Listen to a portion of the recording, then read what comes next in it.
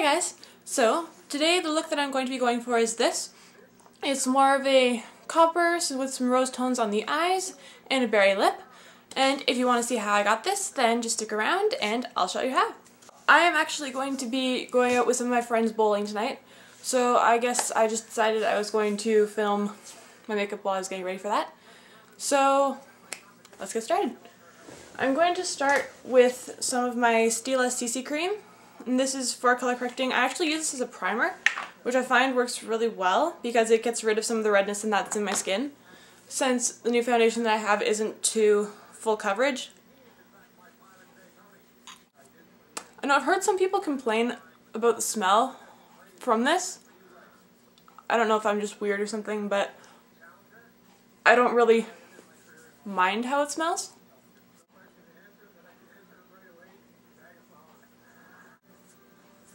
There we go. Okay.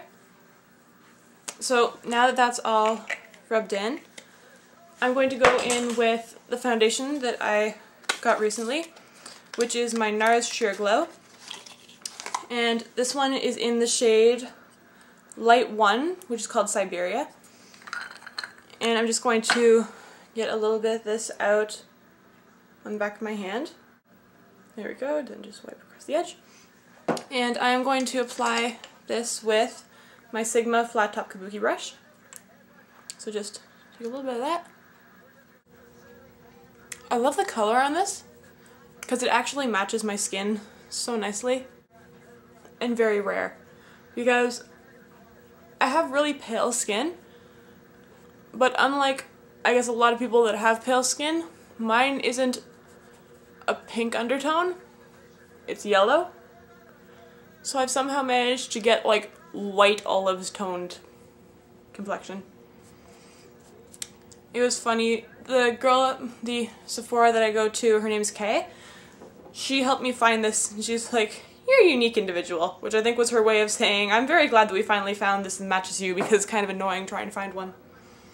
But it's okay. She was very nice.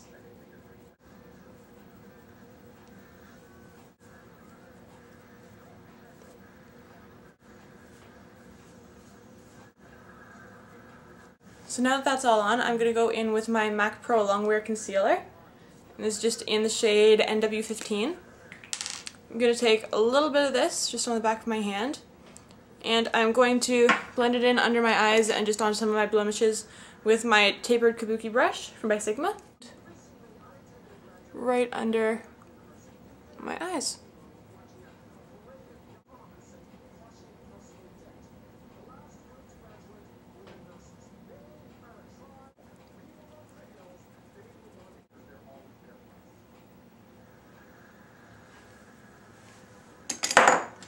There we go. Okay, so now that I've gone in with that, I'm now going to take my Anastasia Dip Brow Pomade, and this is in the shade Taupe. And I just have a cheap little, I think it's the Eye and Brow Definer brush. It's just this little angled brush right here. And I just dip this in, and this is what I use to fill in my eyebrows.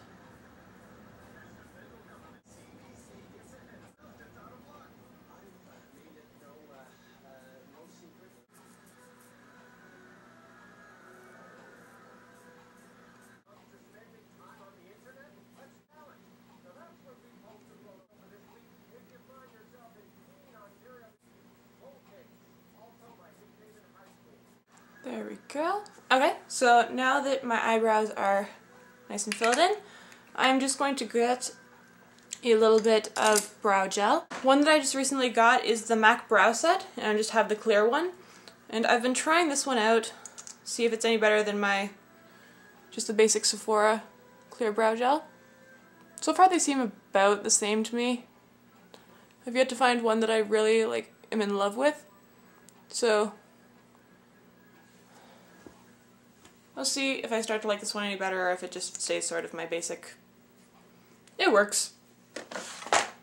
So now that the eyebrows are done, I'm just going to go in with my Urban Decay Primer Potion. And I'm going to put a little bit of this on my eyelids. I already went over them with the concealer, my MAC Pro Longwear one, and that does prime my eyes pretty well, but I'm just going to get a bit of extra insurance with this to make sure that everything goes on nice and smooth and stays still where I want it to stay. Okay, so now that I have that on, oh, what do I want to do? What do I want to do? Okay, I think I'm going to go in with Cranberry from MAC. So this is this nice, here I'm going to just pop the lid open. So this is this nice sort of ready purple cranberry color. It's named very well. And I'm just going to take my Sigma, the tapered blending brush, and I'm going to put this in through my crease.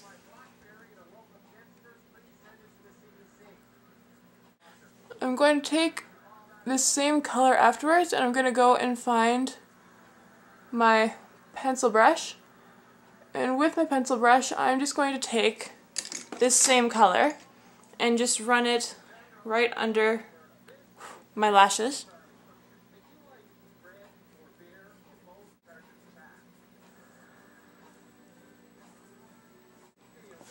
There we go.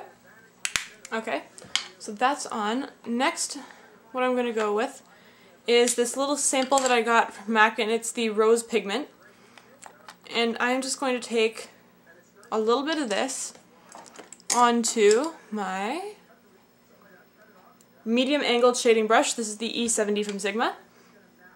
This one right here, see if I can get it. There we go, that right there. And I'm just going to take a tiny bit of this rose pigment, just that little bit right there, and then just go onto the lid of the sample that I got. Tap that in, and I'm just going to run this right over the lid. And then just blend it up a little bit and tap that over on the other eye. There we go, then blend up. So now I'm going to go in with this shadow from Makeup Forever. And it is in the shade I-736. And I'm just going to take a little bit of that color right here and on the same angled shader brush I'm just going to put a little bit of that brown. It's going to be right in the outer corner here, and I'm going to just blend it into my crease and keep it a little bit in that outer V and outer crease.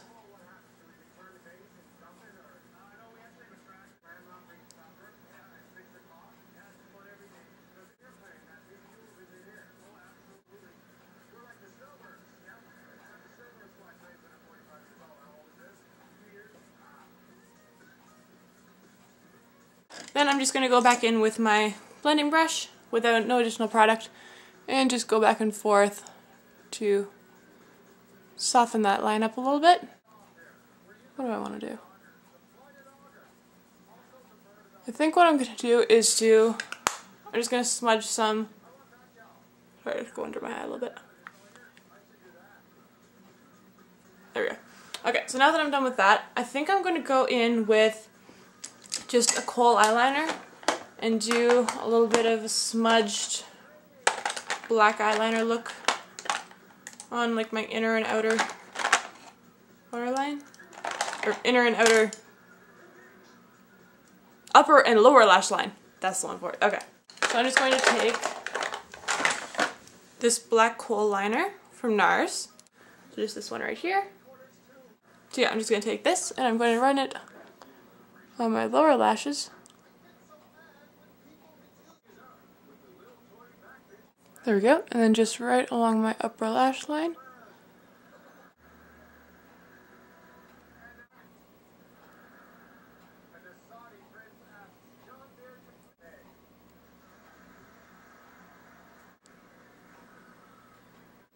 I'm having terrible luck with eyeliner today. Mirror. Very helpful.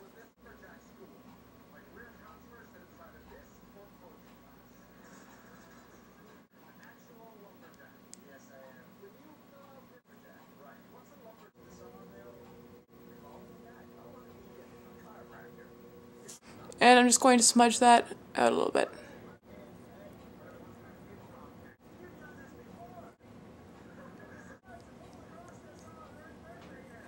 There we go. Okay, so now that I've got the eyeliner on, I'm just going to take my In Extreme Dimension Black Mascara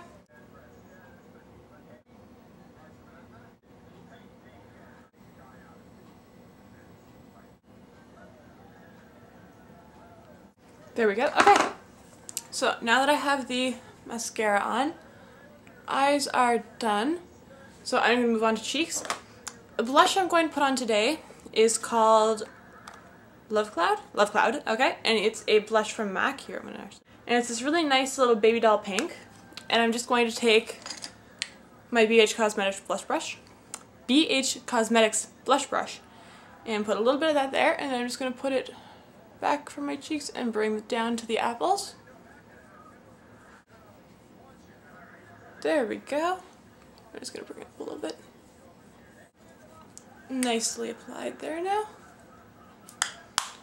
I'm now going to go in with my Mary-Lou-Manizer from the Balm and just take a little bit of that on the same blush brush and just put that right on top of my cheekbones. Just get a nice highlight going there.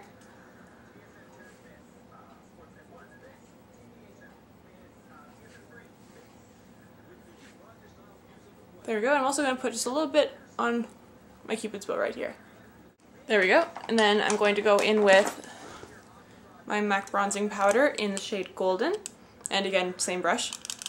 Just take this and run it right underneath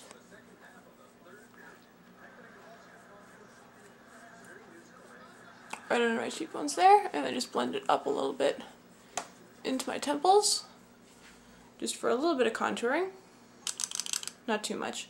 This is a little bit too golden to be a good contour. It's a really nice bronzer, but bronzer just tends to look a little bit orange on me. So since that's done, I'm now going to just set that with my Makeup Forever Professional HD, defini eh, HD Definition Powder. So I'm just going to take a little bit of this onto just a large Sephora powder brush. Go, then just a little bit more setting powder. Make sure everything stays in place. There we go. Okay, so now that I have everything set for my face, I'm just going to go in for my lips. I think I'm going to go in with... Okay, I'm going to start with my lip pencil in Vino, which is just a nice little wine color.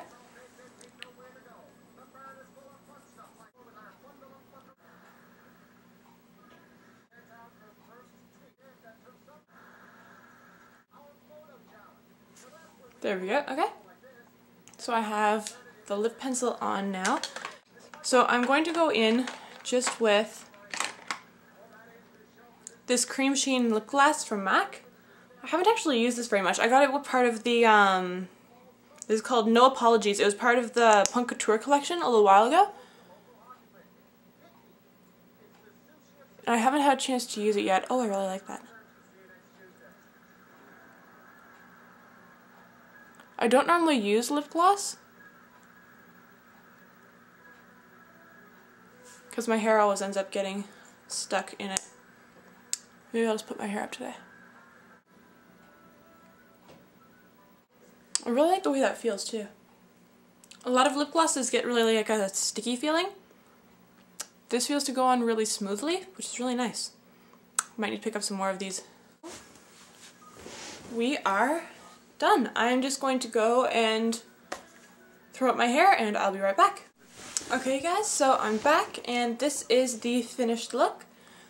I really like how this turned out and I think I'll be doing this more often. I'm definitely going to give the uh, different lip glosses a, different, a try, more so than what I normally do. So that's all for now and I hope you guys have a good day. Bye!